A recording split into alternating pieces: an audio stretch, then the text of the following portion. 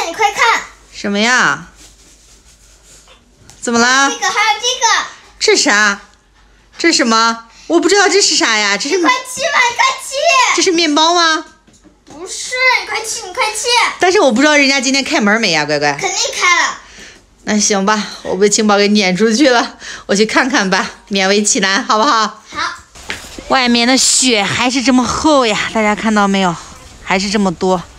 大家好，这里家有青宝，我是青宝妈妈。我就这样无情的被青宝赶了出来。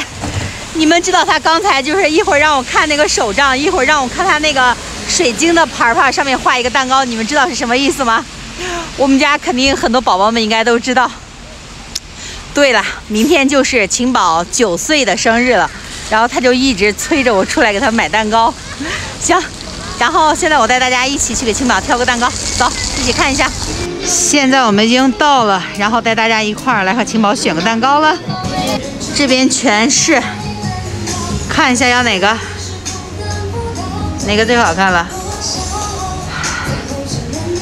上面的小仙女，哎，这个好看，这个啊。对，看看这边的，这个小城堡的也行。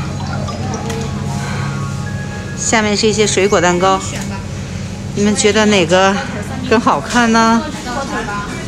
小男生的，这个吧，这个星黛露的，这也好看是吧？带个气球这个。现在我选中的就这个小仙女，然后还有就是这个小仙女，这个，之前选过了，要不就是这边的这个，看到了吗？呃，现在呢蛋糕已经选完了，但是呢，我想测试一下晴宝，就是呢你们帮我保密一下，然后咱们告诉他，就是说现在呢是呃特殊时期，然后好多那个蛋糕店人家都关门了，然后就没有营业，然后咱们等会儿看一下，看看他是什么反应吧。走了，跟我回家看一下。宝宝开门！哦，棉花糖，快回去！妈妈跟你说，宝宝先别走，让我跑了好几个地方，人家的蛋糕店都关门了，宝宝怎么办？啊，棉花糖，你别乱跑，棉花糖。哎呀，那有啥哭的嘛？一会儿妈妈给你做一个，行不行？好不好？一会儿妈妈给你做一个，可不可以？哎呀，别哭了，别哭了啊！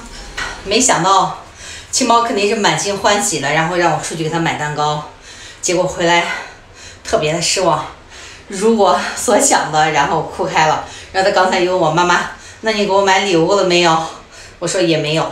实际上他的礼物呢，前几天的话我都已经给他买好了，然后从网上买的。然后他不知道我取回来，偷偷的放起来了。现在我躲在这个厨房里面，给大家说一下。还有就是爸爸给他在网上买的礼物，这段时间不是雪下的特别大，又是特殊时期，那个礼物可能要晚两天回来，所以说这是有一点小失望。不过没有关系，我的幸亏是回来了。那明天的话，就给他一个大大的惊喜吧。好了，就这样了，拜拜。